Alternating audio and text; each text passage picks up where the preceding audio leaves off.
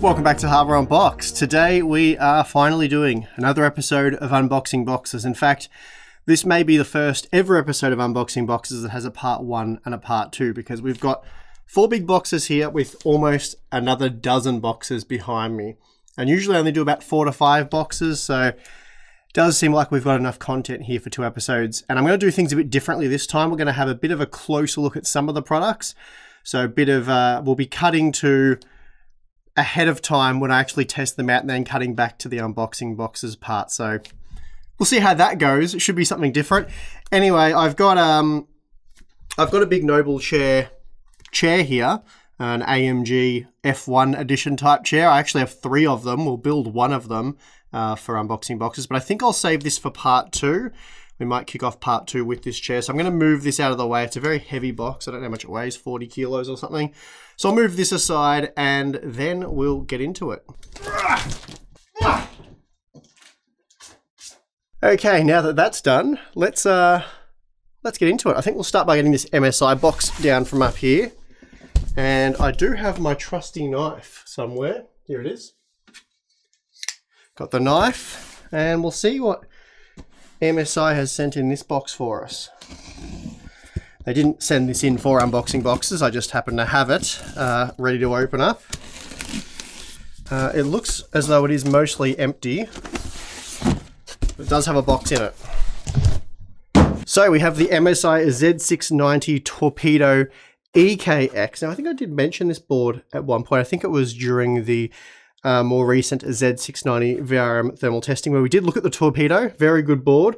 But if I remember correctly, it is a DDR5 board. DDR5 support. So I think it's DDR5 only. But I guess if you're buying a more premium board with uh, a mono block, which is actually this one doesn't have a mono block, I don't think. I think it's just a CPU block. Motherboard and mono block combo. Hmm, not sure on that one. The motherboard, let's just take it out and have a look quickly. We won't spend too long on this because I'll feature this in some other content where we'll have an in-depth look at it a test. Um, typically monoblocks replace the heat sinks on the motherboard, which makes them different to a regular CPU block. Oh, I see. So it attaches, they've made some, I believe it, yeah, okay. It, it assists the existing VRM heat sinks. So there'll be some sort of contact there, perhaps made with thermal pads. These, we'll have a quick look at the block. But yeah, I'll definitely test this board out, give it a spin, and we'll see how it performs with CPU and uh, VRM cooling. But so basically, this portion of the block there connects to the existing heat sinks and sort of assists them in extracting heat from the MOSFETs or the power stages. Uh, ah, here you go. And there we have two thick thermal pads that will go there and there. So yeah, a modified MSI Torpedo motherboard. Not sure why the Torpedo, but yeah, pretty cool looking board. The sort of bluish looking anodized heat sinks.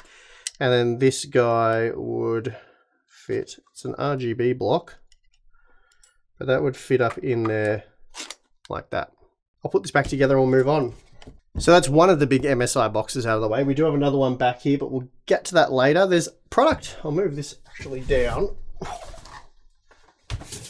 It's great having a lot of room now. This desk is about two and a half meters long by a meter wide.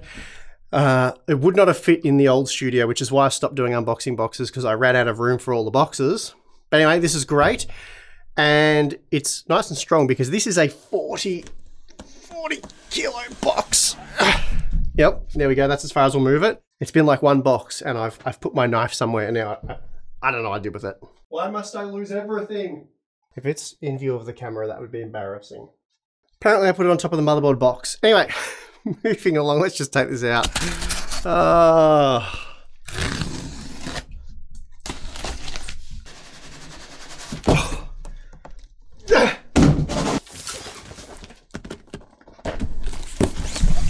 Okay, so we're we're nudging closer to getting this thing out of the box. Portable power station, 2000 watts, 2000 watt hours. Sounds pretty cool. Anyway, we'll, we'll get it out of the box eventually.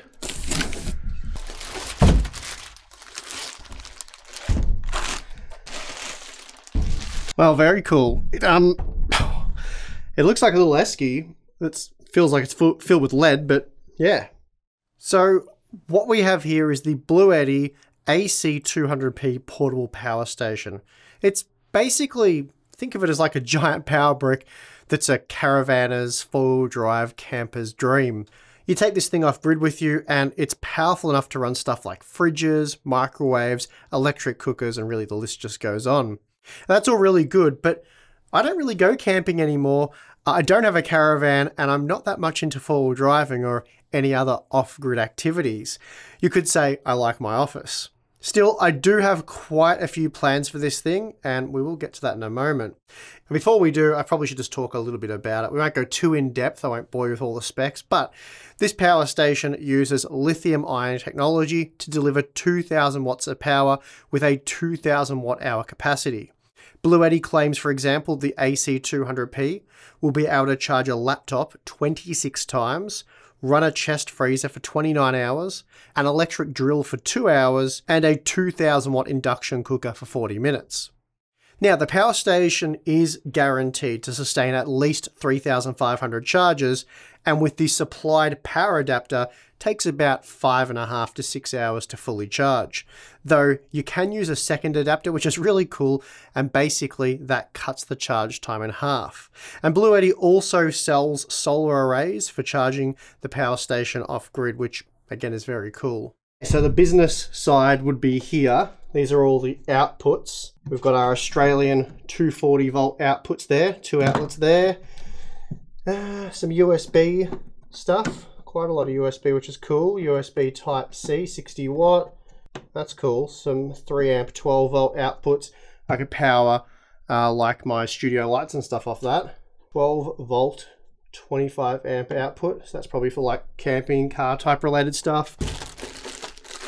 Okay, so we get an assortment of cables here for various different devices you would use them. You've got your standard sort of kettle cable, PC cable, mostly used for these days. Uh, cigarette socket type thing. A lot of... And then these would be sort of, I suppose, probably those who do a lot of camping and four-wheel driving stuff. That's probably familiar to them. And this would be the power supply for charging it, which of course you can use this cable. Um, if you have a PC, you've probably got your own one. But then that would plug in to here. And that would charge it up to 100%. So I want to know what can this actually do? Like, can we run a gaming PC off it? For how long can we do that? Uh, maybe I'll power the 1300 watt studio light off it and see how that works. So a lot of cool things I want to try out with this. So let's go do that and then we'll, we'll get back to unboxing. Okay, so this is an unexpected turn of events. I'm now in my backyard, about 200 meters from my office, and well, I've decided that this is now my office. See down there? That, that's my new office. Maybe you can see it better now, but yeah, that's, that's my new office. So I'm kind of happy about this. So we have the Bluetti 2000 watt power station right here. My phone's on top. I have a mic for recording audio. By the way, sorry about the wind. I have a high-end gaming system, 12900K, 6800 XT, so that should use a bit of power, and a 27-inch 144 Hertz 4K monitor. And spoiler alert, one of the Noble chairs, AMG Petronas Formula One branded chairs. So, let's get to it. Okay, so I'm sitting in my chair now, my new office chair. I'm going to push this power button and that should turn the station on. And now if we go to AC and turn that on, that should enable our 240 volt outlets. Whoop, the monitor has life. Let's push the power button here. Oh, there we go, it's turning on. It is turning on. The RAM is lighting up. We have the MSI logo. This is all looking promising. So what do we got here? Let's go to data, uh, info, DC, oh sorry, that's we want AC output, not DC. We're not using the DC at the moment. So at the moment, we are outputting 230 volts and just 180 watts. So that is with the system at idle. It'll probably come down a little bit, though we do have the monitor tied into that, so maybe it won't come down. Um, and there we are, Windows desktop. A little bit glary. I'll see what I can do about that. Okay, I'm not sure if you can see that, but I do have internet working from my mobile phone, which is charging on the Bluetti power station. So that's very cool. And I actually have a reasonable internet connection. So I'm gonna try and play a game of Fortnite and see how we do from down in my backyard. It's pretty interesting. The desk isn't exactly level. You wouldn't want to put a spirit level on it. Uh, there's quite a bit of glare on the monitor, I will admit and I forgot to bring a mouse pad. So not making excuses. we'll see how we go. It's kind of weird being out here and not being able to hear anything around me, but I'd probably rather not hear the tiger snake that's possibly slithering up behind me. So we'll just focus on the Fortnite. And hopefully you can see that. The game is, is loaded. We are currently at, let's have a look here. So we're currently outputting 370 watts. So not too bad. We're in the game menu. If I let go of my mouse, it does start to slide down the hill. And so far, we're at 98% uh, battery capacity. So we haven't used much yet. So still using around 370 watts. But based on what I'm seeing here, it looks like you could be out here for quite a few hours. Possibly, I mean, it's hard to say based on what the information we're getting now, but mathematically it makes sense that it could be about four hours of gameplay at the current draw.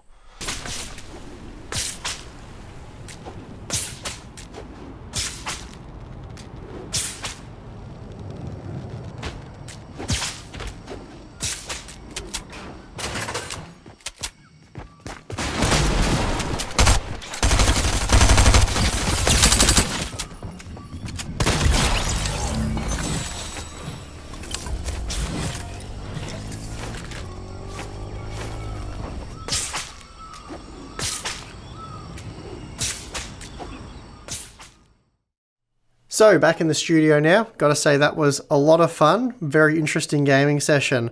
After about two hours of gaming, actually was pretty much dead on two hours of gaming, the power station had 54% charge remaining, so you'd easily get a bit over three hours, somewhere between three to four hours when using a high-end gaming system. Uh, plus, I was also charging my phone along with powering the GH5 camera. So pretty impressive stuff. I plan on using this as a backup power source for in the office, the benchmark systems of my own PC for when we lose power, which does seem to happen quite a lot these days with the extreme weather and all that. I do plan on putting together an auto failover device for when the mains drops out, so maybe that's something for a future video.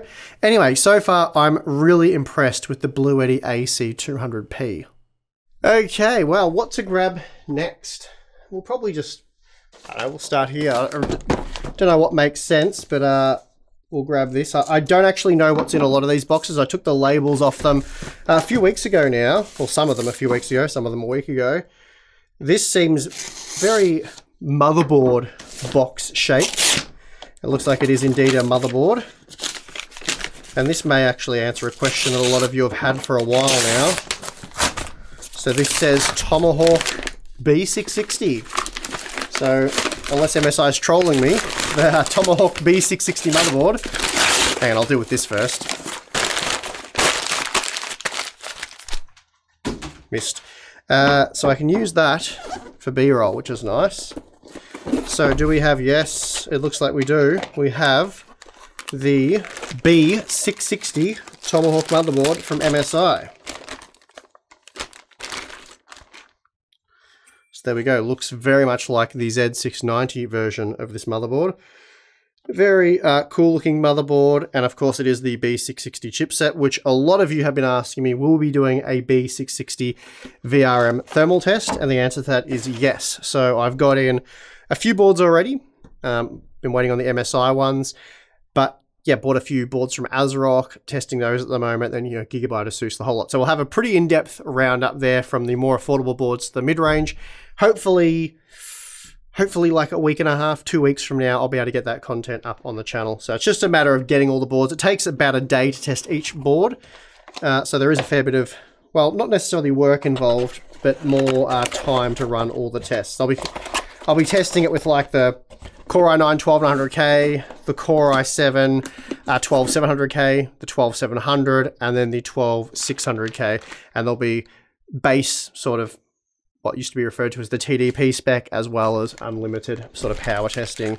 So yeah, I won't go over that board too much because you're going to see in-depth testing on this board on the channel, hopefully in the not too distant future. Now we have another MSI box here, so I might as well just get the, well, what I think is, I've actually got a lot of MSI stuff here. They've sent heaps over the last week. Uh, awesome, awesome, awesome. You guys are going to be happy to see this. At least those of you who have been wanting the B660 testing to happen. So we've got the Pro B660MA Wi-Fi DDR4. So I believe that is the cheapest uh, B660 board that MSI will be selling in Australia. So that's the cheapest one I've been able to get my hands on. Typical looking budget board here from MSI. It's a micro ATX board. Some decent heat sinks. Looks like it may be a half decent VRM on that board. So that's another one to test. And then we have the Bazooka. Always a popular budget board, the Bazooka.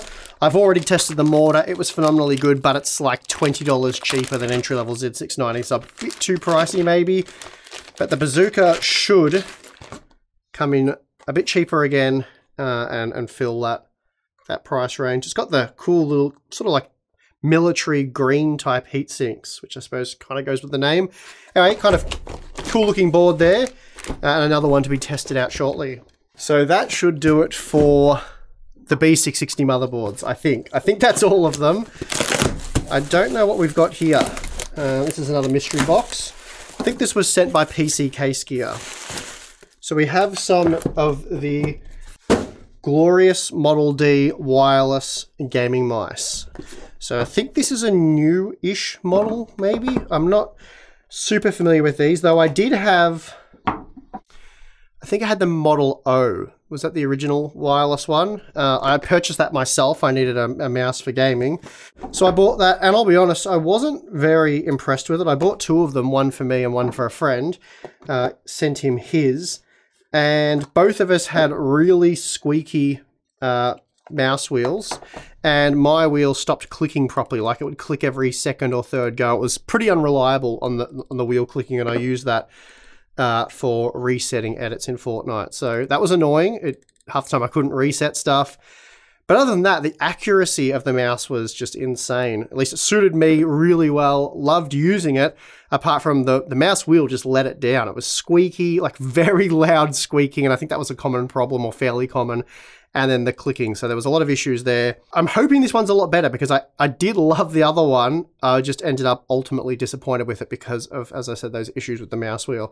So I'm going to plug this in straight away. I'll probably game on it tonight and I'll use it for a bit and see how it goes. Hopefully I'll use it for a lot. Uh, the other one I think I used for maybe five months, four or five months, and then started running into the squeaky wheel issue and stuff. And apparently you can, you could fix it with Vaseline and stuff, but I'm like, yeah, I haven't got time for that. I've got a heap of other mice to test. So it kind of got a bit of a fail from me.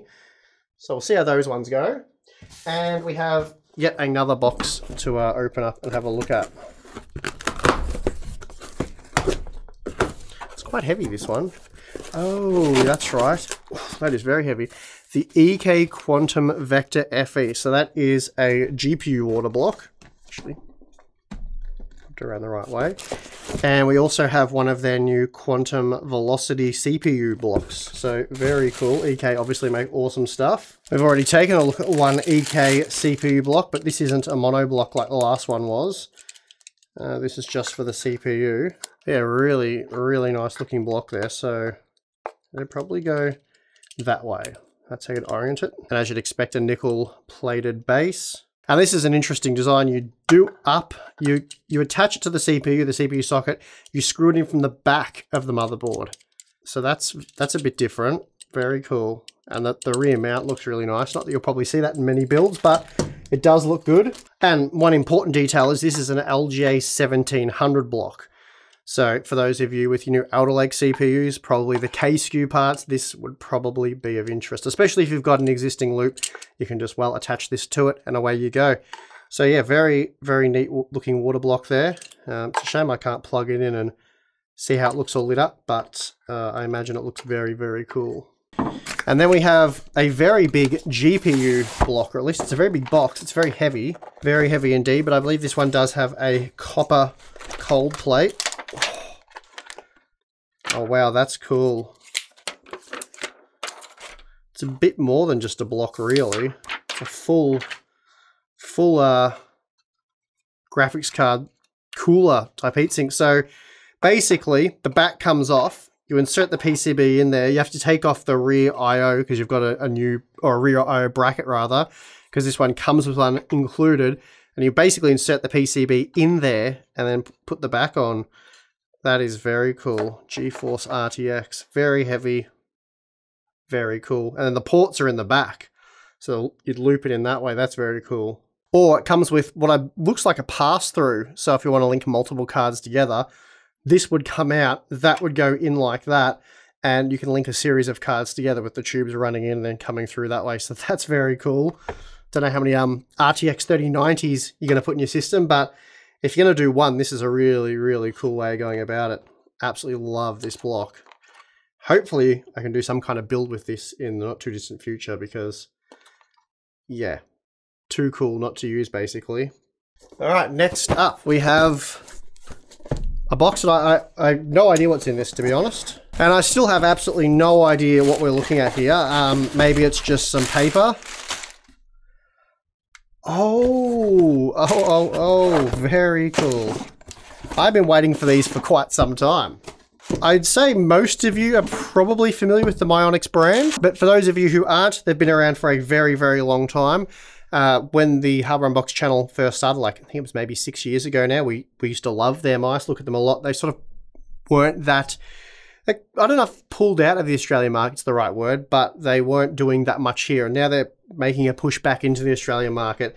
So the Caster, or Castor Pro, so this is the Pro version of that mouse. I had the original version. Again, that must have been five years ago, I want to say.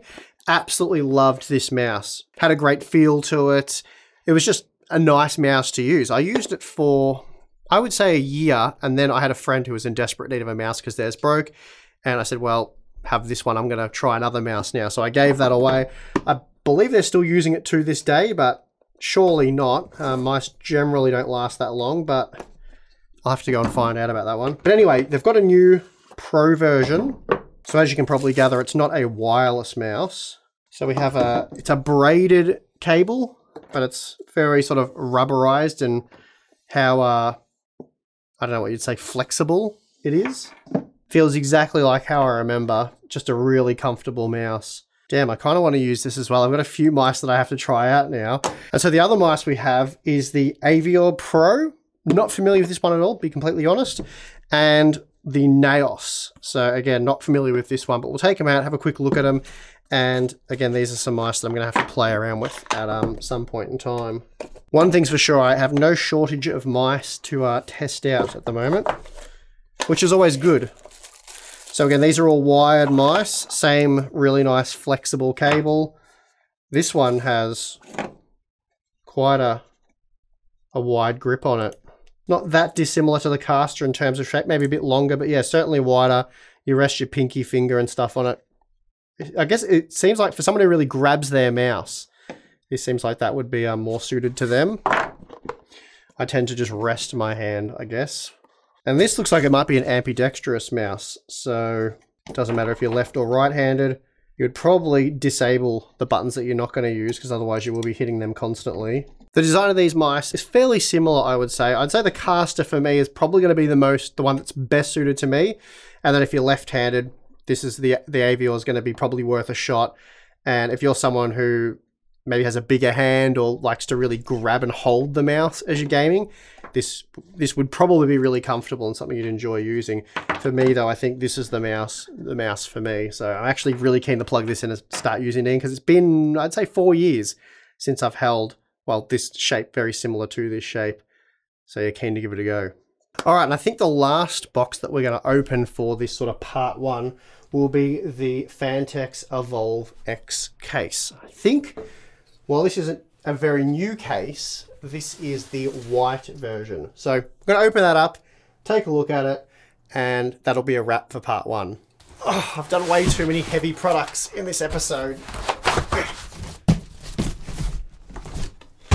Okay.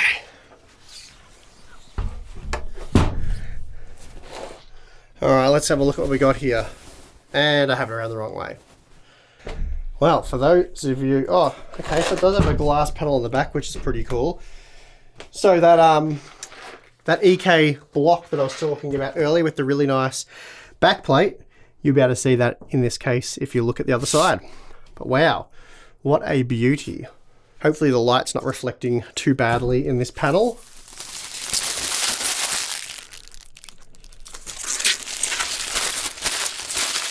Something right away I like about this case, and forgive me, I'm not actually familiar with this particular model because we don't do case reviews here at Hardware Unboxed. We just play around with cases whenever we do builds or I need to build a new test system. Actually, new test systems is the main uh, way I look at cases. Anyway, you take the front panel off here, which just pulls out. Uh, it's got some LED strips which connect in down up here. So that's pretty cool the way that makes contact. But that just pops out. Um, so I think it goes in like that and then it's got two clips at the top. Just pops in like that. So you pull it out from the top and then lift it up. Very easy. And there's a pair of thumb screws, which, you know, I imagine you don't have to put these in if you don't want to. It's just for if you're moving the case around, the doors don't go flying open, which is a problem with hinge doors. So I like that you have the ability there to lock the doors in place. So they do clip in quite nicely, but if you want to secure them, as I said, for when you're moving the case so the doors don't go flying open and smash in or something, that's that's a very nice option.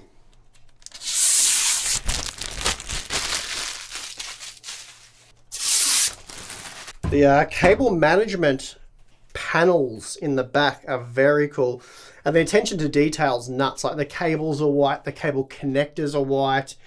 Uh, I think the only things that are sort of black, it seems like they're deliberately meant to be black as a really cool contrast. Like the, the screws and the thumb screws, they could have easily been white, but they've gone with black. And I think it looks cool having having those as black. And of course, some a lot of the components you'll put in here will have sort of black things on them. So I think that that black and white contrast is very cool. Like for example, the rubber grommets around the back here. It's actually not too heavy. Um, I reckon that looks cool. So imagine they're for mounting two and a half inch drives. And the way they've hidden these LED light strips in the front panel, very clever. I like that. Uh, this is, as I said, easy to remove. In the front here, we have a really, so that's magnetically connected, a really nice uh, dust filter. So that would just snap back into place, I imagine. Yep, that's cool. And then this, you just pop in like that. This isn't magnets, but this is just two clips at the top. They press in, holds that in nicely. Now, if you, you have to pull on this, well, oh, okay, you push that up, right. That's cool.